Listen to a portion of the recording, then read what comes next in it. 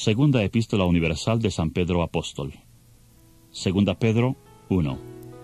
Simón Pedro, siervo y apóstol de Jesucristo, a los que habéis alcanzado por la justicia de nuestro Dios y Salvador Jesucristo, una fe igualmente preciosa que la nuestra. Gracia y paz os sean multiplicadas en el conocimiento de Dios y de nuestro Señor Jesús. Todas las cosas que pertenecen a la vida y a la piedad nos han sido dadas por su divino poder, mediante el conocimiento de aquel que nos llamó por su gloria y excelencia. Por medio de estas cosas, nos ha dado preciosas y grandísimas promesas, para que por ellas lleguéis a ser participantes de la naturaleza divina, habiendo huido de la corrupción que hay en el mundo a causa de las pasiones. Por esto mismo, poned toda diligencia en añadir a vuestra fe virtud, a la virtud conocimiento, al conocimiento dominio propio, al dominio propio paciencia, a la paciencia piedad, a la piedad afecto fraternal, y al afecto fraternal amor. Porque si tenéis estas cosas, y abundan en vosotros, no os dejarán estar ociosos ni sin fruto en cuanto al conocimiento de nuestro Señor Jesucristo. Pero el que no tiene estas cosas es muy corto de vista, está ciego, habiendo olvidado la purificación de sus antiguos pecados. Por lo cual, hermanos, tanto más procurad hacer firme vuestra vocación y elección, porque haciendo estas cosas jamás caeréis, porque de esta manera os será otorgada amplia y generosa entrada en el reino eterno de nuestro Señor y Salvador Jesucristo. Por esto, yo no dejaré de recordaros siempre estas cosas, aunque vosotros las sepáis y estéis confirmados en la verdad presente, pues tengo por justo, en tanto que estoy en este cuerpo, el despertaros con amonestación sabiendo que en breve debo abandonar el cuerpo, como nuestro Señor Jesucristo me ha declarado. También yo procuraré con diligencia que, después de mi partida, vosotros podáis en todo momento tener memoria de estas cosas, porque no os hemos dado a conocer el poder y la venida de nuestro Señor Jesucristo, siguiendo fábulas artificiosas, sino como habiendo visto con nuestros propios ojos su majestad. Pues cuando Él recibió de Dios Padre honra y gloria, le fue enviada desde la magnífica gloria una voz que decía, Este es mi Hijo amado, en el cual tengo complacencia. Y nosotros oímos esta voz enviada del cielo, cuando estábamos con Él en el Monte Santo. Tenemos también la palabra profética más segura, a la cual hacéis bien en estar atentos, como a una antorcha que alumbra en lugar oscuro, hasta que el día amanezca y el lucero de la mañana salga en vuestros corazones pero ante todo, entended que ninguna profecía de la Escritura es de interpretación privada, porque nunca la profecía fue traída por voluntad humana, sino que los santos hombres de Dios hablaron siendo inspirados por el Espíritu Santo. Segunda Pedro 2. Hubo también falsos profetas entre el pueblo, como habrá entre vosotros falsos maestros, que introducirán encubiertamente herejías destructoras y hasta negarán al Señor que los rescató atrayendo sobre sí mismos destrucción repentina, y muchos seguirán su libertinaje, y por causa de ellos el camino de la verdad será blasfemado. Llevados por avaricia, harán mercadería de vosotros con palabras fingidas. Sobre los tales, ya hace tiempo la condenación los amenaza y la perdición los espera.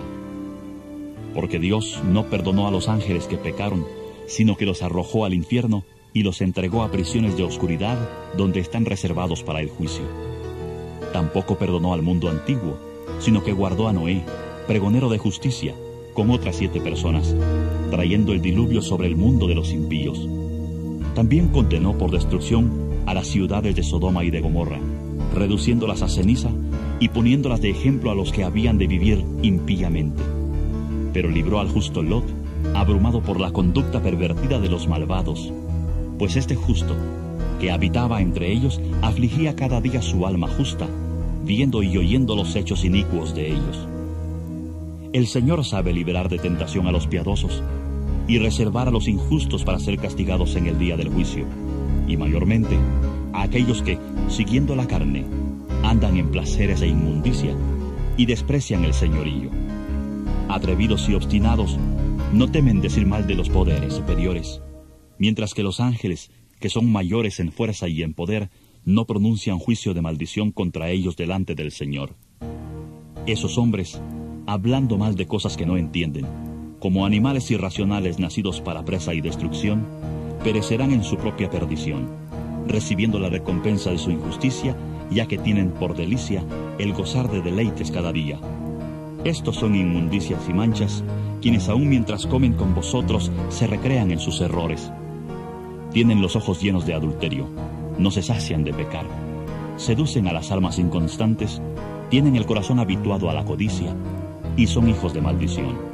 Han dejado el camino recto y se han extraviado siguiendo el camino de Balaam, hijo de Beor, el cual amó el premio de la maldad y fue reprendido por su iniquidad.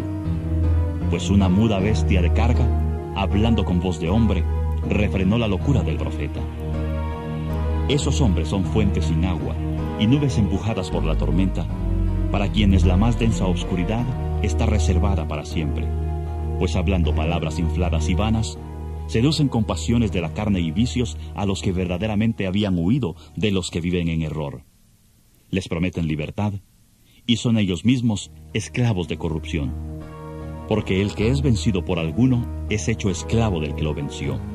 Ciertamente, si habiéndose ellos escapado de las contaminaciones del mundo por el conocimiento del Señor y Salvador Jesucristo, enredándose otra vez en ellas son vencidos, su último estado viene a ser peor que el primero. Porque mejor les hubiera sido no haber conocido el camino de la justicia, que después de haberlo conocido, volverse atrás del santo mandamiento que les fue dado. Pero les ha acontecido lo que con verdad dice el proverbio. El perro vuelve a su vómito y la puerca lavada a revolcarse en el cielo. Segunda Pedro 3.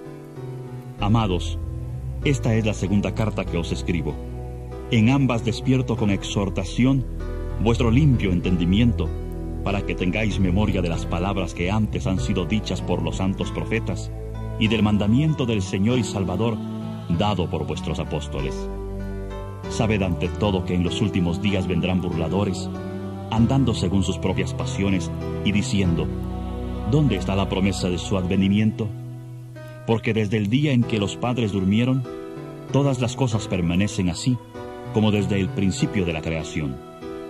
Estos ignoran voluntariamente que en el tiempo antiguo fueron hechos por la palabra de Dios los cielos y también la tierra, que proviene del agua y por el agua subsiste, por lo cual el mundo de entonces pereció anegado en agua. Pero los cielos y la tierra que existen ahora están reservados por la misma palabra, guardados para el fuego en el día del juicio y de la perdición de los hombres impíos. Pero amados, no ignoréis que para el Señor un día es como mil años y mil años como un día.